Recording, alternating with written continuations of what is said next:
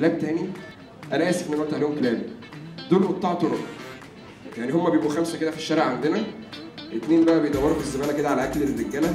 في واحد ندور لي بقى فوق العربية بيشوف الدنيا فيها إيه. واحد واقف على جنب بيصفر كده لو- لو عديت من جنبه يقول "أم، عدي.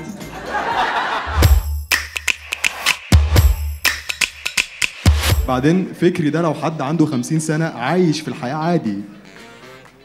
إنما زمان وأنا في كيجي لما كان في حد بيقول لابوه أنا رايح ألعب مع فكري ما كانش بيسيبه.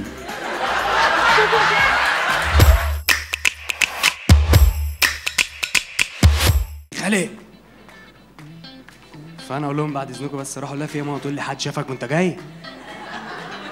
لا لا يا ماما في إيه؟ تقول لي طيب كيس الأسود ده تنزل تجيب بيبس.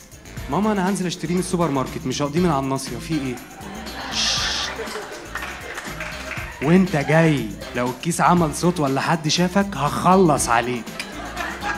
أنا مش فاهم ماما عايزة توصل للضيوف عايز أقول لهم إن إحنا بنعمل البيبسي في البيت.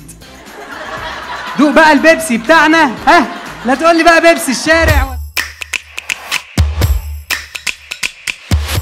آه، هو بدأ يتكلم فبدأ يقول ماما بس. أنا مش زعلان إن هو بيقول ماما ما بيقولش بابا. أنا زعلان إن هو بيقول ماما بيبص لي.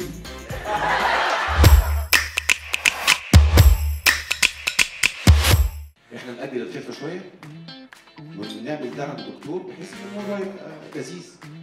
قلت ماشي رحنا للدكتور. دخلنا. الدكتور بدأ يكشف عليها. فقلت له يا دكتور بعد إذنك. يعني بس إحنا عايزين نعمل الموضوع ده بأفضل طريقه سيف عشان الموضوع ما يبقاش فيه اي مضاعفات قال لي في سيف جوه بطريقه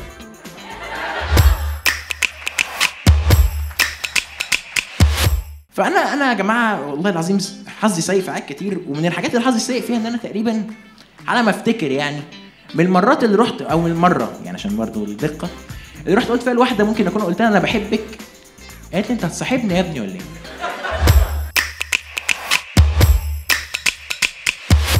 زي برضه أمي قاعدة مع صاحبتها في الصالة وبتاع فبتقول لها أنت بترفعي حالات كده محمد ماسك مايك تواشيح ولا بيقول إيه؟ لها لا ده بي- بيعمل stand up stand يا محمد تعال أعمل stand up